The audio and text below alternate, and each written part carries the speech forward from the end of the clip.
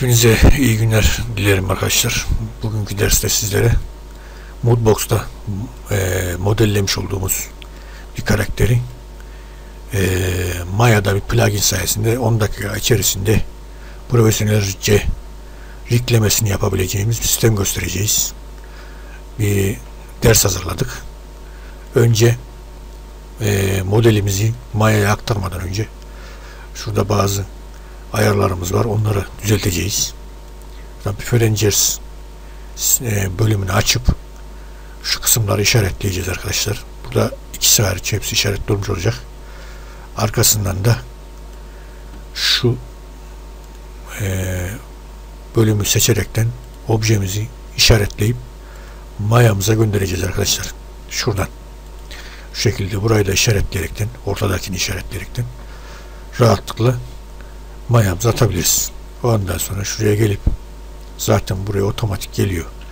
Ondan sonra buraya şu şekilde açtıktan sonra ee, ondan sonra buraya obje geldikten sonra buradan bir layer açacaksınız. Add selection object diyecek bunu aç, şey yapacaksınız arkadaşlar. Layer haline getireceksiniz. Yoksa çalışmanız çok zor olur.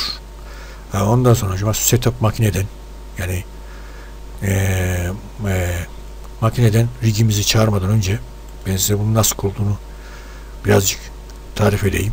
Şuradan e, Windows sekmesinden plugin preferences diye bir nokta var. Oraya TSM diye atar zaten. Ben 30 günlük kurdum.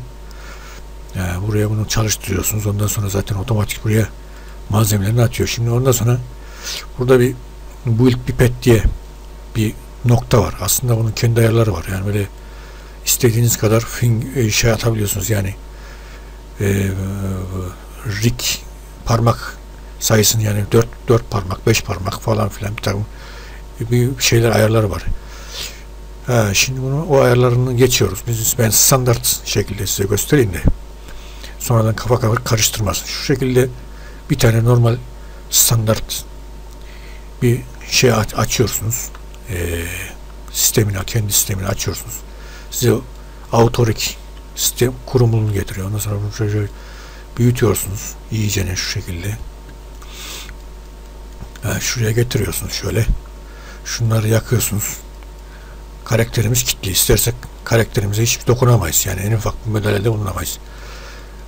Buraları iyicene şu kısımları tam birbirine denk gelecek şekilde ayarlamamız gerekiyor arkadaşlar. Yani şuraları oynamamız gerekiyor. Yani şöyle ben size tarif edeyim de şu kısımları şöyle ileri geri çekmemiz gerekebilir. Yani tam kola kol bağlamlarına şöyle getirmemiz gerekiyor. Yani şu ok işareti karşıya bakacak şekilde şu kısma şöyle kol ayarlamamız gerekiyor. Yani şunları şöyle tam şuraya falan çekmemiz gerekiyor. Yani şunun ayarı bu.